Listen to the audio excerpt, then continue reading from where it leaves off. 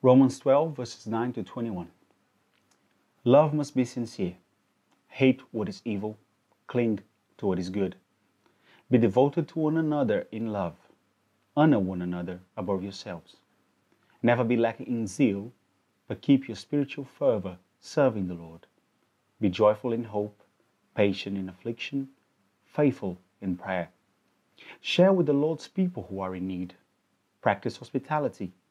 Bless those who persecute you. Bless and do not curse.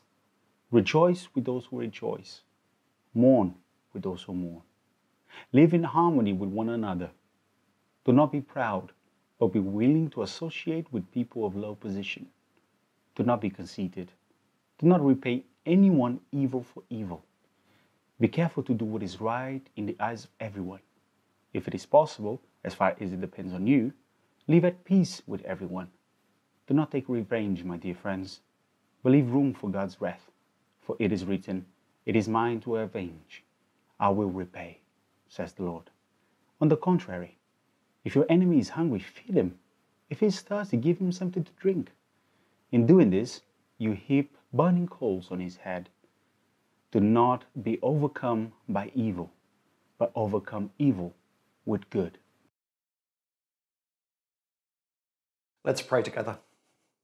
Our Heavenly Father, when you draw us into your family, you want more than just a legal relationship with us. You want us to share your family likeness. And so we pray this morning as we study your word that you'd give us humble hearts and minds that are receptive to what you're doing by your Spirit in us. Amen. Well, look, I wonder if you've ever found yourself uh, listening in on parents comparing notes on perhaps their respective children. There's a phrase you hear them using to each other again and again. Oh, Johnny, he's really got the, the football bug. Practices his kicks for hours, knows all the players' statistics, got his heart set on playing for Saints when he's older. Oh, really? Uh, says the person they're talking to, perhaps. Well, our, our Lucy, well, she's got the acting bug. You should hear her in her room reciting her lines day after day. Everything's so dramatic. She wants to audition for every part in the school play. And on it goes. Turns out Rob's got the music bug, and Lydia's got the environmentalism bug, and Tom's got the carpentry bug, and so on. They've all got the bug. It's an odd expression, isn't it, when you come to think about it? Wouldn't be surprised if it maybe falls out of use uh, in the post corona world. But you know what it means when people use that expression? They've got the bug. It means, I, get this, I guess, that this uh, person has been so gripped by their enthusiasm for whatever it is that it's led to a new energy, new priorities, a new appetite, a new ambition. They're barely recognizable as the person they were before. It's all totally changed for them. They've really got the bug. Well, let me ask you, and uh, I'll ask myself the same question Have you and I got the gospel bug? You may well have the gospel. I don't assume that by any means, of course. You may still be dipping your toe into Christian things, but you may have. You may have got the gospel. Perhaps you've been chosen and, and loved and forgiven and adopted into the family of God. That may all be true. But have you actually got the gospel bug? How far has your new spiritual reality actually shaped the person you are? The, the life you live, the way you expend your, your energy, your priorities, your appetites, your ambitions. Have you really got the bug? You may be a Christian. You may call yourself that, a Christian, a, a Jesus person, in terms of your profession of faith. But how far are you a Jesus person in terms of your heart and your life? How far is the, the, the truth that you know also a truth that you feel? and a truth that you live. Some years ago, um, a book came out which caused anger and resentment among Christian people the world over. It was written by an astrophysicist called Michael Hart, and it was called The 100. The subtitle was a ranking of the most influential persons in history. And what riled Christians so much was that Jesus came out only third in the rankings, behind Muhammad and Isaac Newton. Well, not surprisingly, Michael Hart was grilled about this seeming anomaly a number of times, but his answer pierced like a knife. He said, I am neither a Christian nor a Muslim. But on my observation, Muhammad has far more influence on the lives of Muslims than Jesus on the lives of Christians. Ouch. But what do you think? Is that fair? Is it fair for you and me? We can only really answer for ourselves, can't we? So let me come back to that question Are you really a Jesus person? Through and through? Have you really got the gospel bug? Last week, we reached a turning point in our study of Paul's letter to the Romans. Uh, if you've got it open in front of you there, uh, you can see for yourself. Paul is moving uh, as he starts chapter 12 from the facts of what God has done for us, who he's been to us, to the life of response. So, verse 1 Therefore, in view of God's mercy, offer your bodies as a living sacrifice. He's moved from a new understanding to who we are in the whole of our lives. Middle of verse 2 Be transformed by the renewing of your minds. We've begun to see what that looks like um, in the first half of the chapter. But from this point on, from verse 9 uh, towards the, the, the, end of the chapter, he, he goes on with this kind of rapid fire barrage of instructions. Now, you look down the list there, and I don't know what your reaction is at first glance. It seems to me like a whole mishmash of just random things. Maybe you've got somewhere in your house that all the assorted things go that haven't got a place of their own. Maybe a garage or, or a shed or just a kitchen drawer. For us, it's a, it's a room up in our loft. We call it the Room of Doom. It's full of spare jiffy bags and rolls of wrapping paper and ancient picture frames and memorabilia and all sorts of things, odds and ends of every kind. So, is this passage here in Romans 12 the room of doom of the letter? Not quite, I don't think. It's not entirely straightforward to navigate uh, through the commands, but it seems to me Paul is showing us what it looks like to get the gospel bug in three different areas. You first, getting the gospel bug will show itself in unmasked love towards your church. So, verse 9 Love must be sincere. Uh, we know something of what love is, I suppose. Uh, we've been shown love by God Himself.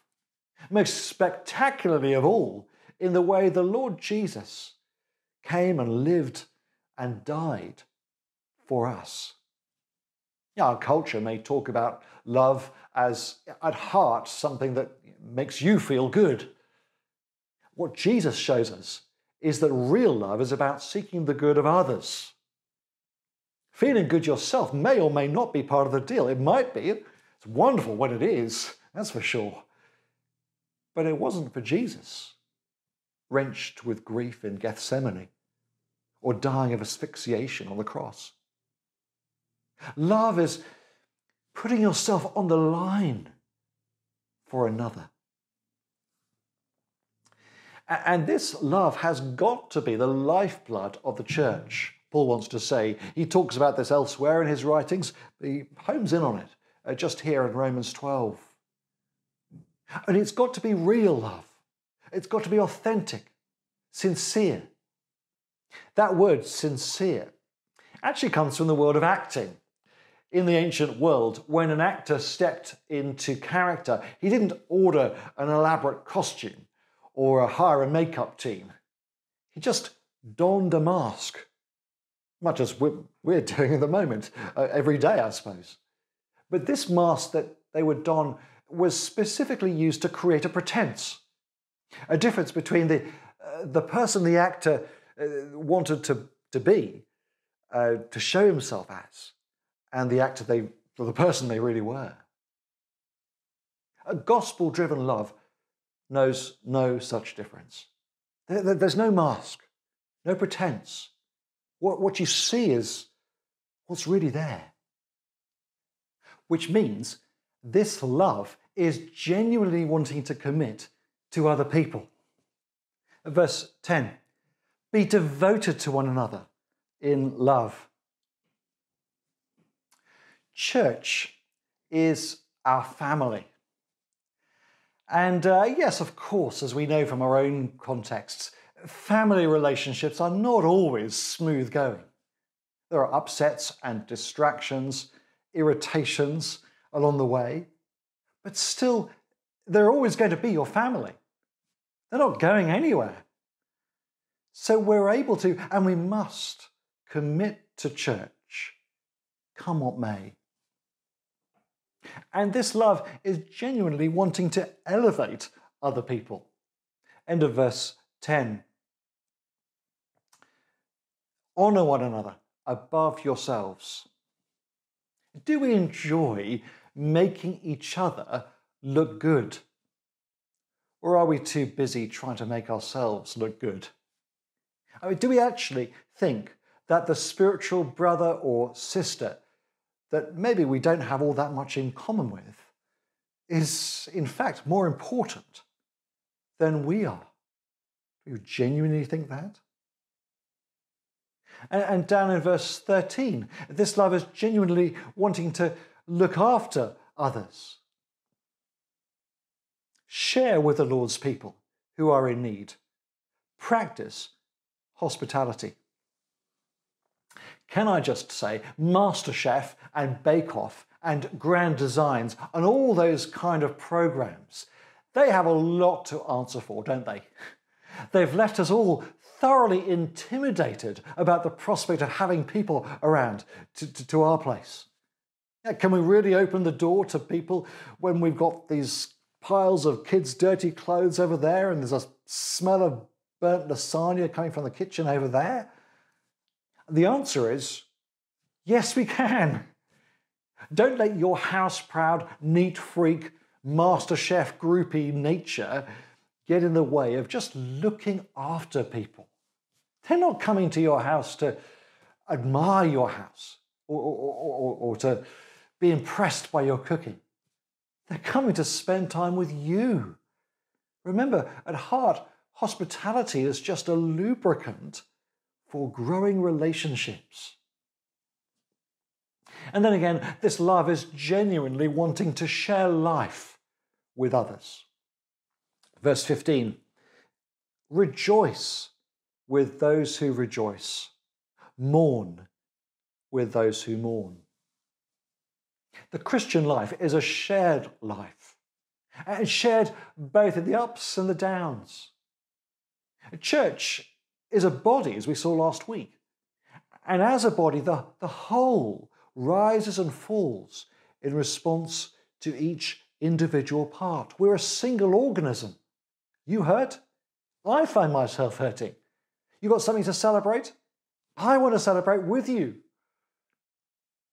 Of course, that does involve a willingness to self disclose, to share what's on our hearts which does mean making ourselves vulnerable to other people. And that is hard for some. But it also means, on the other hand, being deeply interested in the lives of others and not just preoccupied with ourselves. That too doesn't come naturally to everyone. In fact, I wonder which of those two is more of a challenge for you. Maybe spend some time this afternoon having a think about that. And then again, this love is genuinely wanting to maintain relationship with others. Verse 16 Live in harmony with one another. Do not be proud, but be willing to associate with people of low position.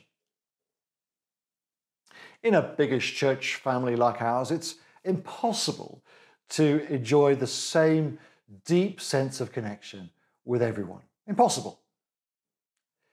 But it is important to make sure there aren't people we actively avoid or moan about or look down on.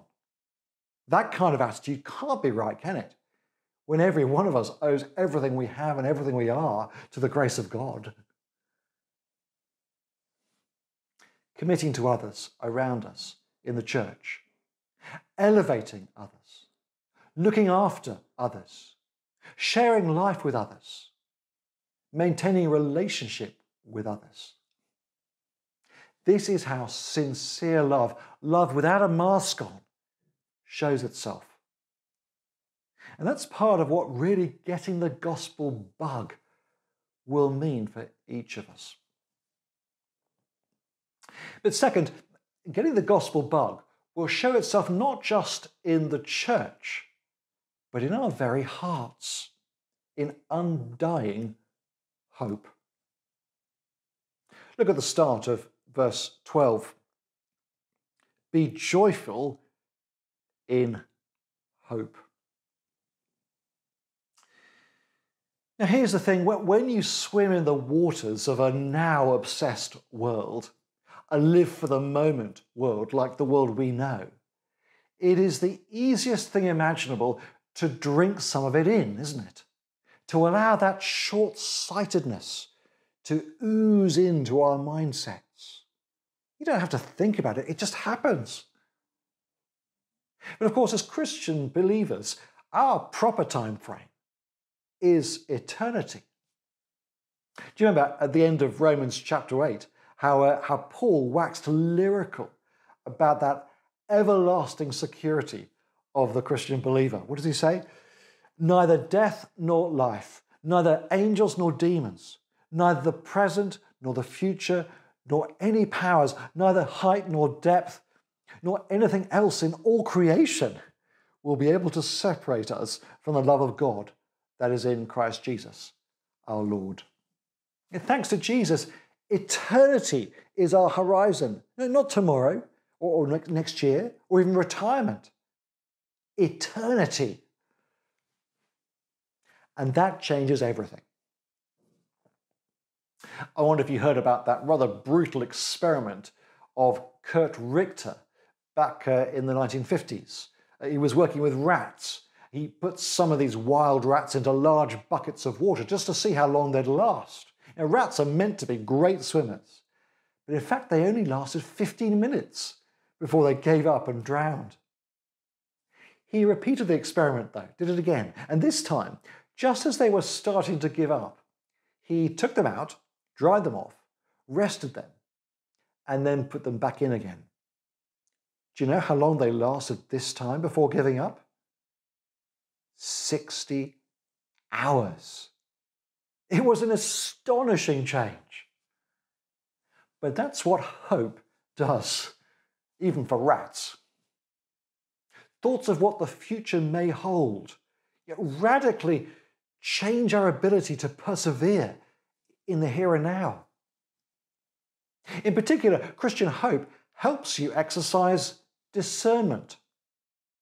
So, verse 9 hate what is evil, cling to what is good. Uh, you've noticed this as much as I have, I'm sure. There's enormous pressure on us to be positive about pretty much everything today. It, it, it does our heads in, doesn't it? But still, we feel we've got to approve of anything and everything. You know, what would people think of us if we disapproved of their life choices or their opinions or, or whatever it might be? But if heaven is our horizon, if that's where our hearts really are, that gives us a framework to resist that pressure, a point of reference, as it were. And not everything has a future in the presence of God, so not everything has to be commended or approved of in the present. Hate what is evil, cling to what is good. Discernment, then. And again, hope helps you to stay on the boil. So just look down again at verse 11. Verse 11 Never be lacking in zeal, but keep your spiritual fervor serving the Lord. That's a great encouragement, isn't it? Maybe one we particularly need to hear. I mean, I mean, don't you find yourself sometimes buying into the cynicism or the apathy of people you know? I wonder if your service of Jesus has become half hearted as that cynicism or apathy starts to work its way into our own hearts, get under our own skin. Are you just drifting along?